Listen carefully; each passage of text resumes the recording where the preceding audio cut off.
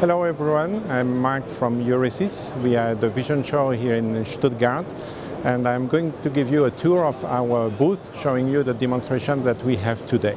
So the first demonstration is super high-speed 3D profiling. It's using a, a new Coaxlink card that we are going to release, the Coaxlink Quad 3D LLE. LLE stands for laser line extraction. What does it do? It uses the FPGA of the card, the onboard FPGA, to extract the position of a laser line in the image.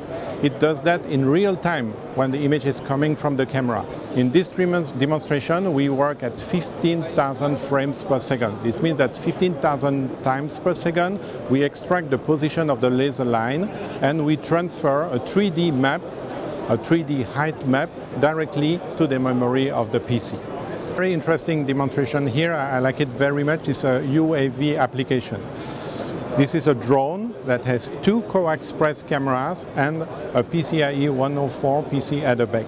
Why do they use CoaXPress? Because they need a super high resolution and a high speed communication that is able to transfer the image from the camera to the PC without any latency. Why? Because the PC is flying the drone. We don't transmit the image here. The PC is just analyzing the image in real time to fly the drone and we need super low latency.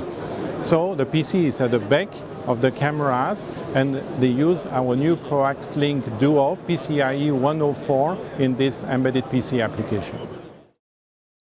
That's it for today. Of course, we have more new exciting products to show, so don't hesitate to check our website at euresys.com or please contact us for more information.